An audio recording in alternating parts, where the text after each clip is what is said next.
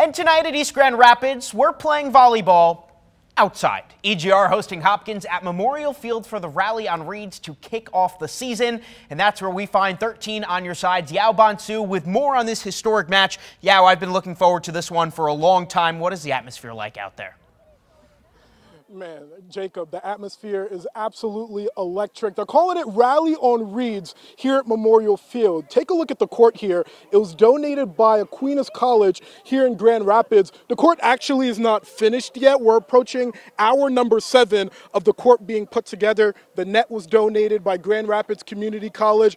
And let me tell you, this crowd is expected to be filled with upwards of two thousand people. It's a season opening game. It's the first game ever for Coach Langford of Grand Rap- East Grand Rapids. So you got to imagine what is the energy like. I want to feel what it's like, what it's going to be like tonight. So here we are. We got we got both teams here. We got East Grand Rapids. we got. I can barely hear myself right now. That's how great the energy is right now. Where's Rory? Where's Rory? I want to bring in now Rory Edelman. You, you guys don't have to stop. You guys don't have to stop cheering. You guys don't have to stop cheering. Come on now. Come on now. Senior captain Rory Edelman. Rory, when you first heard that you were going to be opening your senior season of volleyball here on a football field, what were the what were the emotions like? I was definitely nervous. Uh, it's definitely nerve wracking to play in front of your entire community, and on the field, uh, I was worried about the sun. Um, but I don't know. It was exciting. Overall, exciting, but nervous. And I was speaking to some of the players. They said that they only got four practices in before this game, all of them being indoors. So, Yeah. how do you prepare for a game of this magnitude? You don't really, because we can't really practice outside. Um, I don't know, just working on basics and fundamentals.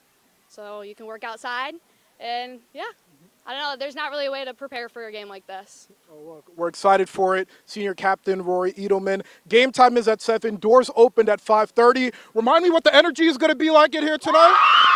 Okay, that's exactly what I thought. Rally on Reeds. Game time is at seven. We'll have highlights at 11. But for now, we're live at Memorial Field. I'm Yao Bonsu, 13 on your side sports. I think they're excited. That looks so fun. And she made a great point. What do you wear sunglasses Yeah. on the volleyball court, maybe? I don't know. Yeah, the to energy is going to drive the Yeah, game. I don't You know, if you guys so remember last year the University of Nebraska did this. It was the most attended volleyball match Wow. of all So cool. time. so you know the energy tonight is going to be uh, sky high for sure. Yeah, that's a great stadium too. They're gonna have so much fun. I'm, I'm excited for them. Thanks so much, Jacob. In the